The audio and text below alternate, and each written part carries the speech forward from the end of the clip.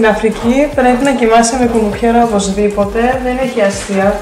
Τα κουνούπια εδώ πέρα μπορούν να κοβούν θανατηφόρα.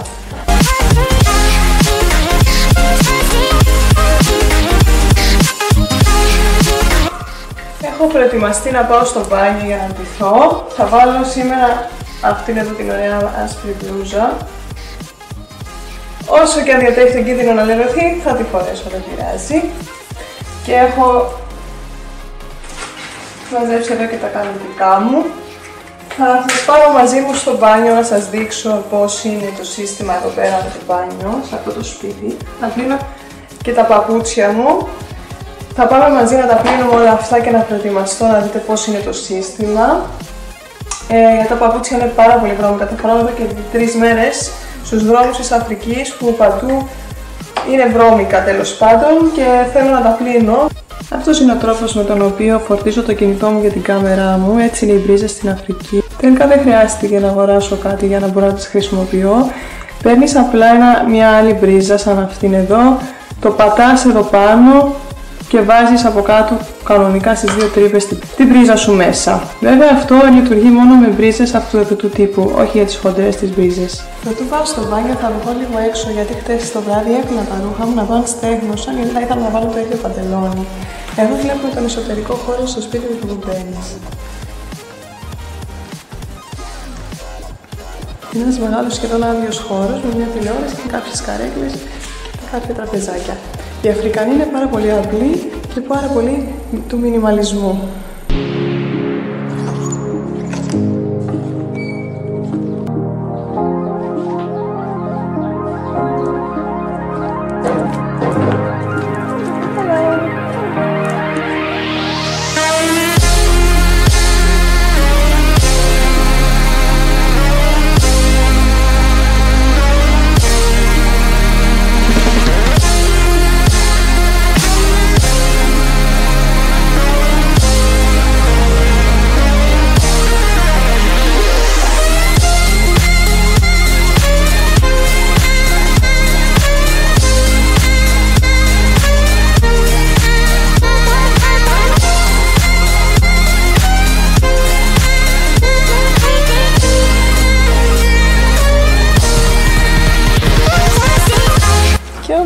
Ήταν όλη η νύχτα έξω και δεν έχουν στεγνώσει εντελώς.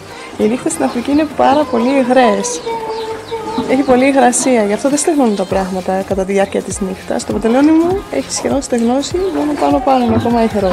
Για να δούμε τα υπόλοιπα. Αυτό είναι στεγνό. Τα υπόλοιπα όλα έχουν στεγνώσει. Η πετσέτα που μου στο Σαμ. όλα μου τα υπόλοιπα ρούχα έχουν στεγνώσει και πραγματικά ο ήλιος λάβει και κάνει πολύ ζέστη.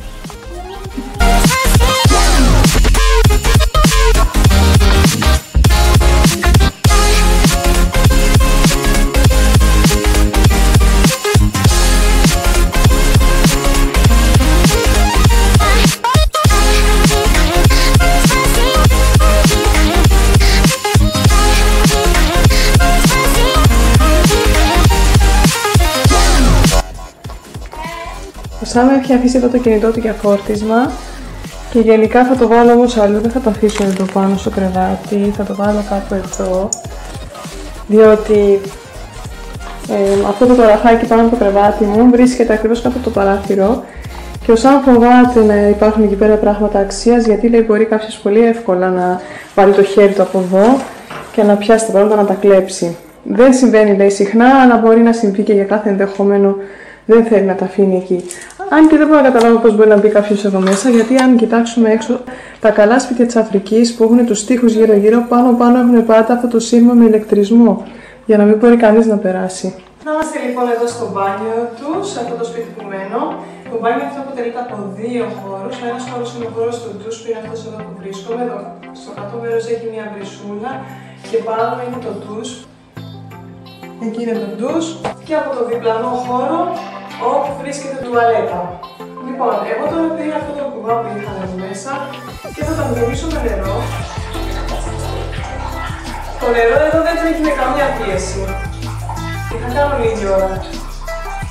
Μέσα σε αυτό το κουβά θα πίνω τα ρούχα μου που έχω ετοιμάσει από το πρέπει να πληθούν.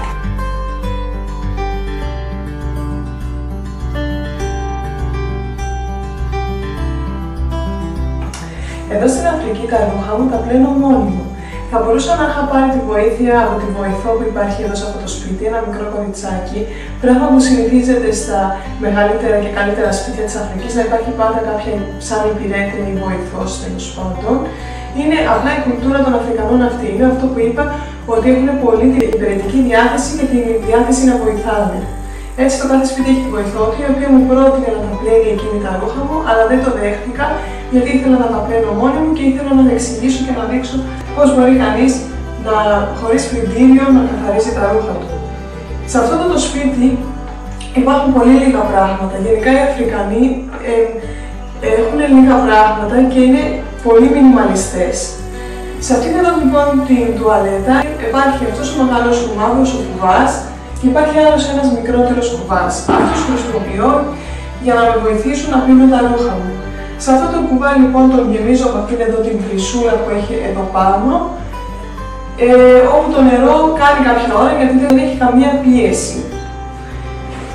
Και κανονικά πλέον τα ρούχα μου. Με το σαπούνι μου που έφερα, κανονικό σαπούνι για όλες τις χρήσεις, βάζω τα ρούχα μου μέσα στο νερό και αρχίζω και τα πλένω.